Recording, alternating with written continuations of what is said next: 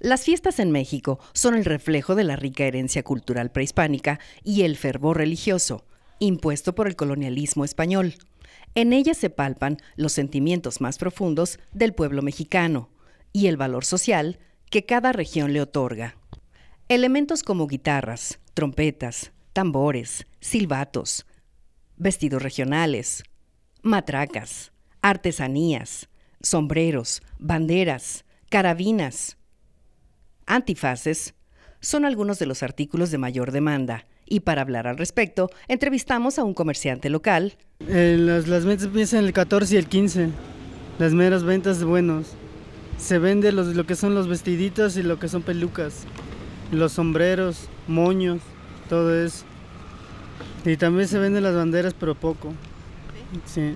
¿Y cómo ven la respuesta de la gente? Bien, porque según que la gente que ya no quería comprar las banderas, pero ya comenzaron a comprar.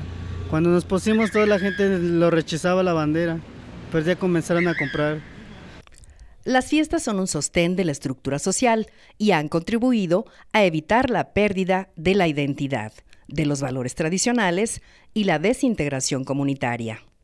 Haciendo un recorrido, recogimos algunas opiniones sobre cómo celebrar las fiestas mexicanas. Pues este, muy poco. No acudimos acá porque ya ve que se junta mucha gente. Sí, sí me gusta celebrar, cómo no. Pero a, nuestro modo, ¿no? Tranquilos. Sí, pues está muy bonito, que vayan conociendo los niños todo, que no quiten pues, las, las luces, ¿verdad? Porque es lo más bonito. Sí, venimos a presenciar el grito.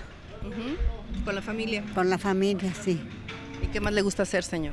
Pues milanesa, taquitos de milanesa este pozole. Con imágenes de Miguel Cerda, para RCG Noticias, Anabel Martínez Arzola.